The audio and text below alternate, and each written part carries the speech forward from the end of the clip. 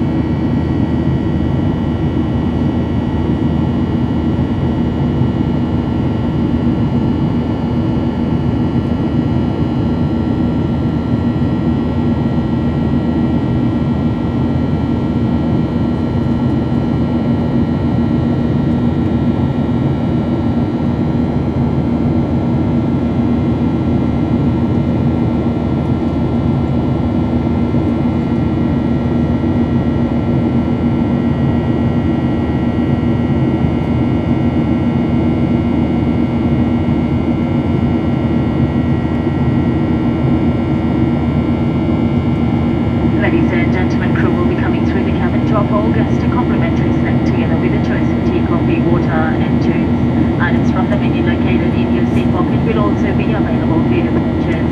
We are happy to accept both cash and credit card payments. We have two lavatories at the rear of the cabin for guests seated from row 3 onwards. With the fasten seatbelt sign is switch off your lavatories, large electronic devices including laptops. Small electronic devices may be used to either flight and all transmitting devices are to be in flight mode.